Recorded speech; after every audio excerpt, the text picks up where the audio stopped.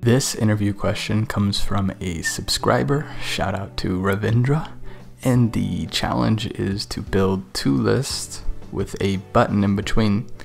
And when you click on the button, the odd items from the left list swap spots with the odd items from the right list. All right, let's get started. I'm on flowstatecode.com and we are doing swap odds. Swap odds, as you saw in the beginning, click the button and the odds from one list switch with the odds from the other list. All right, you can go to YouTube from here and I'm gonna get started by making my editor pretty. All right, that's good enough. If you ever need to get back to the demo, you click that button. Cool. I'm going to go to data.js and it looks like we have two arrays of strings and those are what I'm going to be rendering out to the screen and they're already imported in app.js. So I know I'm going to need a piece of state for both carts. Cart A and cart B is what I'm going to call them. Cart A set cart A equals use state. And I'm going to initialize that with cart 1. I'm basically going to do the same thing with cart 2, but it's going to be cart B and set cart B. Cool. Now I have the data in state and I can play with it and it'll trigger rechange or re-renders. Re-renders. It'll trigger re-renders. So inside of page and flex, as you see, we already have some class names on here. If I go to styles.css, I see what those classes are doing. Flex is just a basic flex class. It's really nice to have. I usually make one. And then inside of here, I'm going to build out the base of the component. So the whole component's going to fit into there. And then I'm going to want a cart. I know that I have a cart, a button, and a cart horizontally uh, aligned. So I'm just going to go ahead and flex row those. So I'm going to create the first cart, which does not exist yet, but it will soon. And then button. Inside of the button, swap odds. And then I will have another cart. I'm fairly frustrated with this autocomplete in here, but it's okay. It's flow state coding. We're flowing. No anger. Okay, cart.js const cart is going to be equal to, I actually don't know what it's going to take as props yet, but I do know I just want to return cart and make sure to export default cart. Now in app.js, import cart from dot slash cart, and we have a cart button and a cart. That's fairly similar to the overall layout that I want to see. And now we need to pass down items to cart. And this first cart is going to get cart A as items. And the second cart is going to get cart B as the uh, prop. If we go back into cart, we know that we're taking items. And so I do want to create a div here. And let's close it off because this is really going to be the, let's put a class name. This is going to be the cart border that you see in the info. These carts have a border. This is where that's going to be. So let's go back to cart.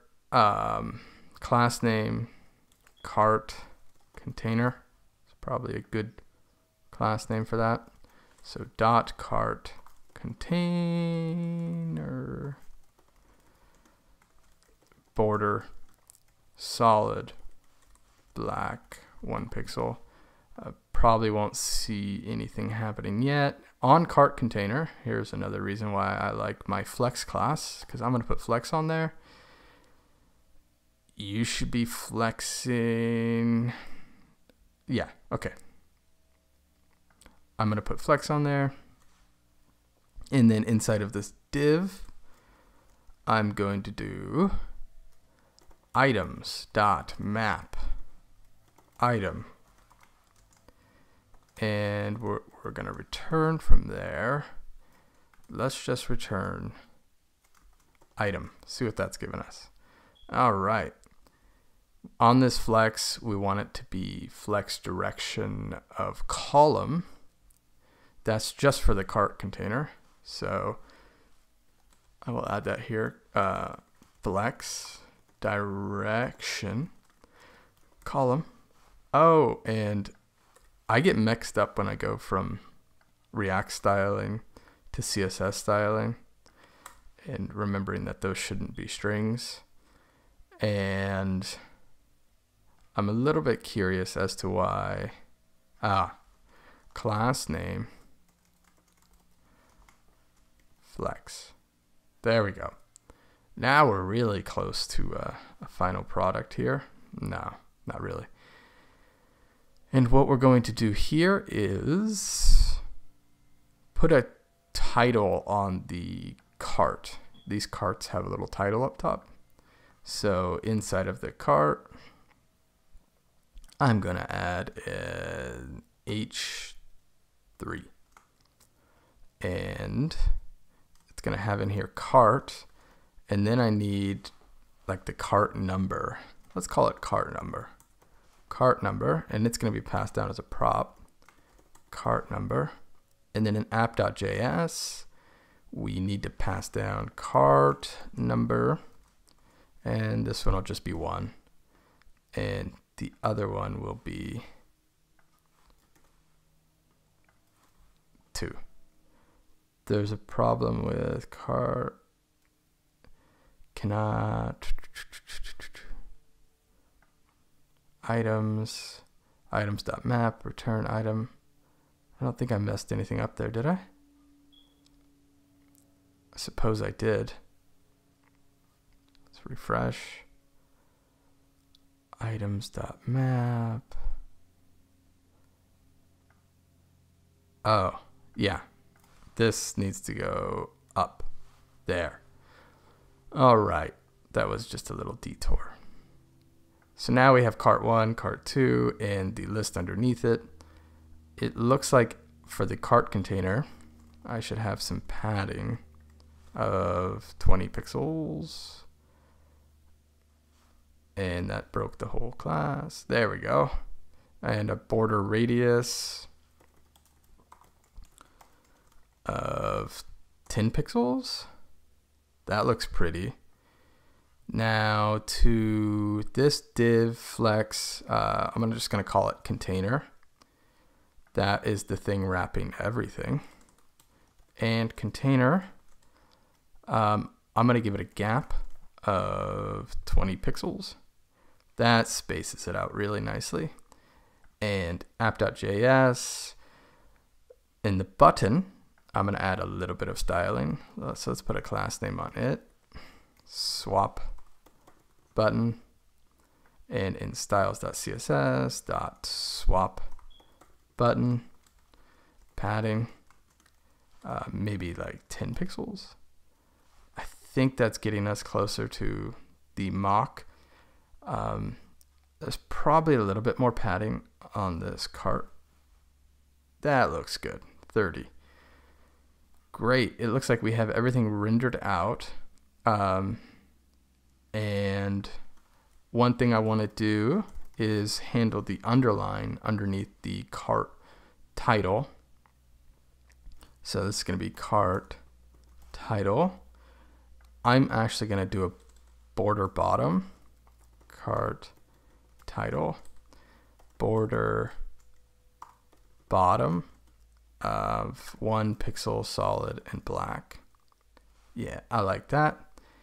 And in the cart container, I think I want to, is it justify content flex start. I always forget the alignment. Align items, flex start. There we go. And underneath the card title, maybe give a margin of five pixels. Oh, that's going to give me not what I want. Margin bottom. Why is the cart title not applied to cart title H3? It should push all the items down. I should wrap the items. No, I shouldn't. I like this so far. I think we're getting closer to the mock. And now in app.js, I need to handle clicking the swap button and then the odds swap. So const swap odds. It doesn't need to take anything, I don't think, right now. But what are we going to do here? We're going to loop and we're going to jump by two each time of I think we only need to go over one cart. So let's kind of mock that out. Let's put i starting at 0. i is less than cart a dot length. And what are we going to do? We're going to do i plus equals 2. 2. And let's console.log cart a at i. And let's see what we get there. I'm going to run this. We're getting an error on a key prop. Let's handle that right now because that could get annoying. Key uh, items.map index is fine. We'll put the index there. And in app.js, swap odds. We need to fire it off. That's a good idea. On click here, we're going to call swap odds. So when I click the button, we should get a console of something. Apples, grapes, pears. That's exactly what I wanted. Um, I want to actually mess with both carts when I do this.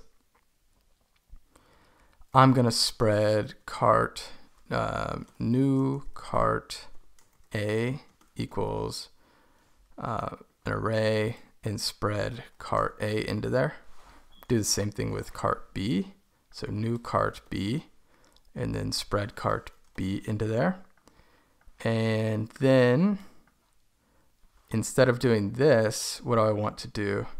I want to set cart A, this would be new cart A at I. I want to set it equal to new cart B at I. And first we should save that new cart B, right? Const cart uh, old cart B equals, I don't need to because I have it in state, right? I have it in state. So I could just do cart B at I and then new cart B at I is going to be equal to cart A at I. Oh, do you think this is going to work? Set cart A, new cart A, set cart B, new cart B. Okay, let's click this button and see what we blew up. That is working, right? One, two, potatoes. If potatoes comes over here, kale comes over there. Hey, I truly nailed that algorithm on the first try.